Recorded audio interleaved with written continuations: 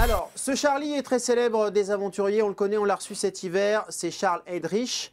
Et tu vas nous en dire un petit peu plus, car c'est un vrai, vrai, vrai aventurier, les gars. Regardez bien ce que fait cet homme qui a 56 ans. C'est absolument incroyable. C'est le grand aventurier français que, que, nous avons reçu quand il a fait son passage nord-ouest à la rame pendant 130 jours. Et bien là, il s'est lancé un nouveau défi, qui est euh, de faire une marche en solitaire de 1400 km en totale autonomie dans le désert de l'Atacama au Chili. Il est parti d'Arica le 7 avril dernier. Il est à peu près à 500 km sur son périph' de 1400, donc à peu près un tiers. On voit la carte. Euh, il a posté ça sur son blog ce matin. Il était à Aventura, il parcourt à peu près 30 km par jour euh, dans ce désert aride qui est, à peu près à 4000 hein. Comment? C'est le désert le plus aride le du monde. Le plus aride et il culmine à 4000 mètres d'altitude. C'est une première mondiale. Ce mec, enfin, il est complètement barré, on adore. Et, euh, et petit chariot. Voilà, il tire un chariot de 150 kg, entre 150 et 160. C'est euh, principalement de l'eau. Il a aussi euh, une, un appareil pour recycler l'urine. Ça, en fait, c'est des images de son entraînement. Il a fait des, euh, des, entraînements du 9 au 16 janvier euh, pour faire une reconnaissance de terrain et des entraînements il mange 1 kg de, nourriture par jour, donc il a 40, 40 kg de nourriture dans son petit, dans son petit chariot. Et on, l'a eu au téléphone. Et alors, on, voilà, ah. on, a fait le point avec lui. On l'écoute tout de suite. Moi j'ai fait 500 euh, km, donc 15e euh, jour, donc je suis un peu plus d'un tiers maintenant. Et euh, je suis en pleine forme, on va dire. je fais le plein d'eau dans les quelques points d'eau qui peuvent exister. Par exemple, il y a trois jours, suis passé dans une petite oasis qui s'appelle Kilagua, c'est un petit village.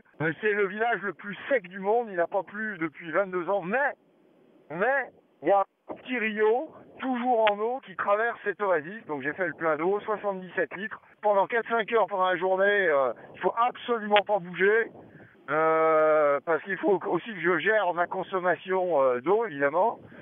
Et, et là d'ailleurs, je, je calcule plus en litres par, euh, par jour, mais comme une voiture en, litres euh, au 100 km. Et actuellement, je consomme 14 euh, litres au 100.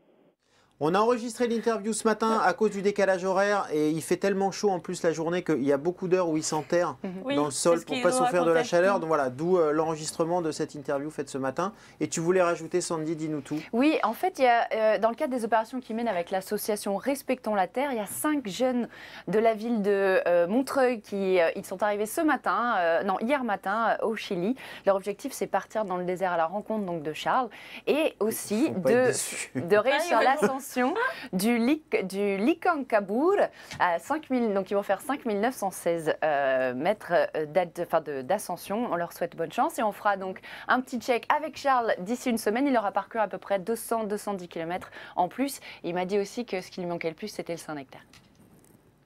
Et le Saint-Nectaire, ça manque à tout le monde. Et un peu d'ombre aussi. Mais il a des chips. On a, Vous le connaissiez ou pas du tout seul. Elle est complètement seule, c'est en total, on, on voit qu'il tire euh, quelqu'un quelquefois. Non, ce que je te disais, c'était la reconnaissance. Il a fait ça avec, petit chariot. avec un non, sinon, il est vraiment tout seul.